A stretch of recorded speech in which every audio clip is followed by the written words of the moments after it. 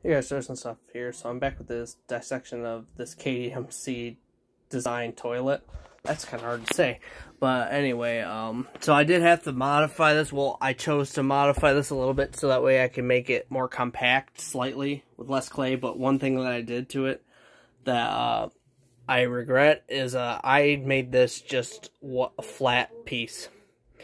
So uh, there in his design, he had a little shelf here, and that uh, because I took that shelf out, uh, it grad very very much slowed down the flow of the siphon.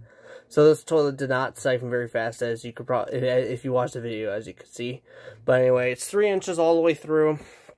Um, uh, and the siphon jet passageway, as you can see, is in the center, and it goes there. This one, I did not have enough clay to put a rim on, so it does not have a rim. It just has three jets towards the front. And also, here's the other side. Uh, there was a seam failure, unfortunately, right here. Um, this area is completely delaminated. So that's where the water, and that probably also contributed to why this toilet didn't really siphon very good.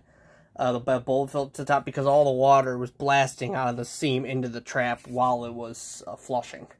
So it wasn't really allowing a good flow of water. So that probably also contributed massively to this.